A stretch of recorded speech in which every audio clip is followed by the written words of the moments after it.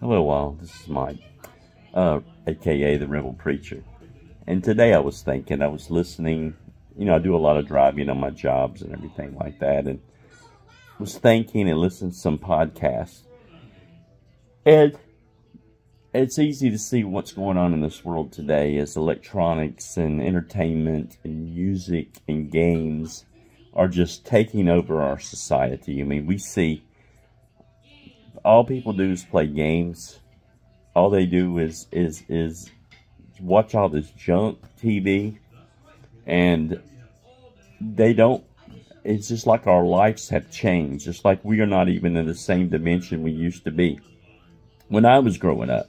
And we're gonna go back a little while, but uh, you know, there was always times like when uh, I remember when I was young uh, my grandfather and grandmother were alive, and we would go over there. It seemed like every weekend. I may be wrong, but it seemed like we went over there every weekend.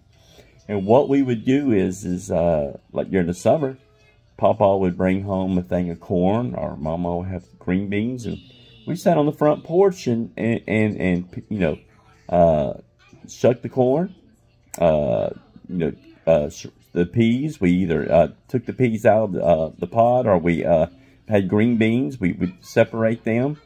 And we would spend hours on the front porch talking.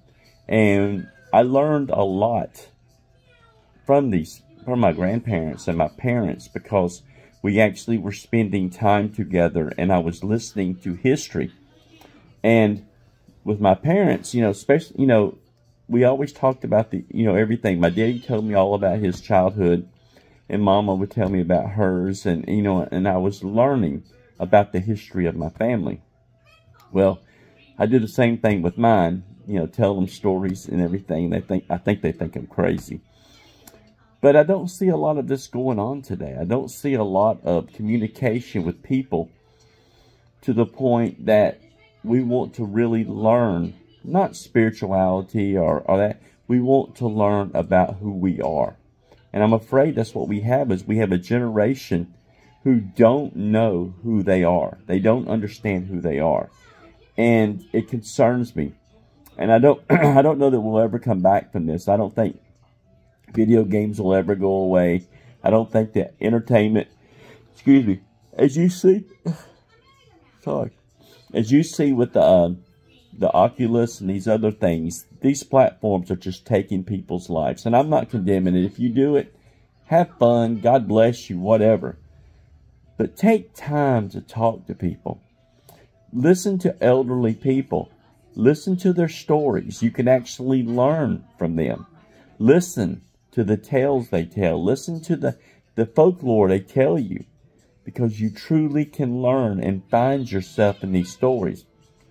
You're not going to find yourself in these video games. These video games are like drugs and sex different.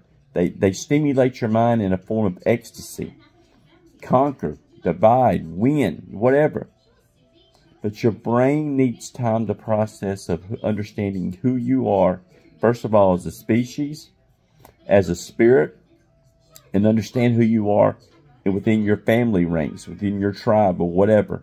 You need to know who you are. Do you know the stories of your grandfather, grandmother? Do you know the story of your parents? Do you know any of these stories? It may not all be great. It may be a bad story, but a bad story is better than no story at all. So, take time. Listen. Listen to people. When you go to the grocery store, listen to the elderly. Listen to them talk to you. You know, some of my greatest schooling within religion has been listening to men of wisdom. Men of wisdom. I've listened to a lot of scholarly people. I've listened to a lot of theologians, and I learn a lot. But man, from these old, you know, especially within Christianity, when I got with some of these old Pentecostal preachers, didn't have TVs, and they live what they believe, man, I learned a lot from them. And the same thing true within paganism. You listen to these people that's been living it, not as a fad or cringy kind of paganism, but just back to the land, or even Jews who just truly love their halakha and their walk not because they have to or they don't. It's just a part of who they are. This is what really changes generations. And this is the problem with the generations we have today. There's no foundation, people. There's no foundation. We have people jumping from religion to religion, and I have done this. I have jumped, gone from faith to faith, and, and I'm still going. But as long the way, I take my 13 uh, year old and I, you know, the five year old that's living with us, and I share with them what we're doing and what we're learning in this process. And it's really been fascinating how my 13 year old has just, just plugged in to this, and she's learning as we go. So take time, step back, and talk to people. Talk to your neighbors. Talk to the elderly. Talk to people at work. Not about your latest games or football games or stuff like that. Find out about who we are as a species and where we've come from. You're not going to find it in a book. You're going to hear it through stories. And it's time you start sharing your story with other people and letting them share their stories with you so that we can communicate and learn. It's important, man. We're here together. We are a hive mentality, believe it or not. And we need each other. So, that's my that's my video. Step back from the entertainment and plug into each other. Thank you.